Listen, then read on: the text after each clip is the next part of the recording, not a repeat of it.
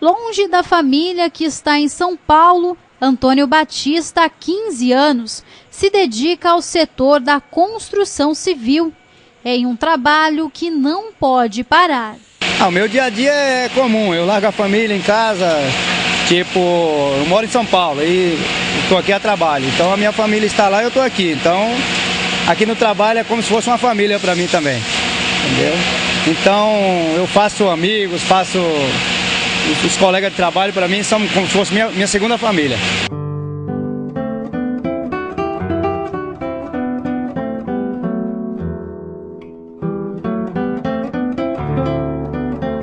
De tijolo a tijolo, ele constrói do alicerce a obra completa, deixando em cada etapa desta grande construção um aprendizado.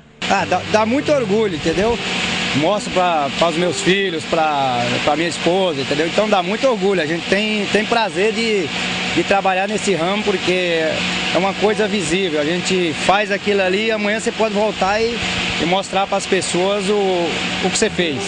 Enquanto isso, do outro lado, homens de coragem também deixam o seio da família para servir ao povo, garantindo a segurança de todos. A gente gosta né, do que a gente faz. É, a polícia não para, né? É um órgão de segurança aí que não tem como parar, não, não para nunca, né? A gente admira aí os trabalhadores aí, porém a, o trabalho da polícia é constante, né? 24 horas e não, não tem como parar.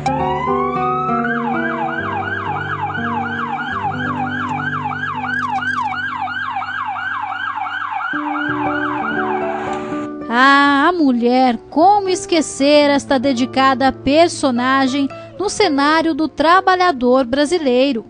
Hoje, a ala feminina marca presença em diferentes profissões. Mãe, esposa, confeiteira, comerciante, enfim, são muitas as responsabilidades. Trabalho que Dona Darcy exerce já há mais de 19 anos. Olha, eu trabalho com muita dedicação, com muito carinho e com muito amor. O que eu faço aqui nessa padaria é com todo carinho mesmo, todo amor. Dedicação total. Todo dia é dia do trabalhador, seja na cidade ou no campo, a rotina não para.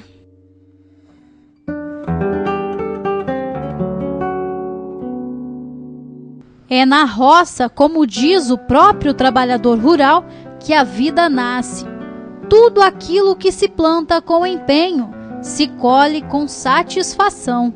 Da enxada, o suor garante o alimento à mesa de milhões de pessoas.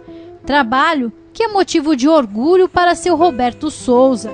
Eu vou cedo para cana, corto cana, aí ajudo picar, vem, põe nos coxos da vaca, depois eu venho ajudar aqui no retiro, tirar leite. Às vezes, se já tirou o leite, eu volto para cana, fico até as quatro cortando cana a gente já nasceu na roça, né? Desde criança, desde a idade de 8 anos, minha mãe já levava eu pra roça. Então CC é maravilhoso. Quem trabalha no campo e gosta é maravilhoso. Não é muito, quem gosta do campo é maravilhoso. O campo é a coisa melhor que tem para trabalhar é o campo.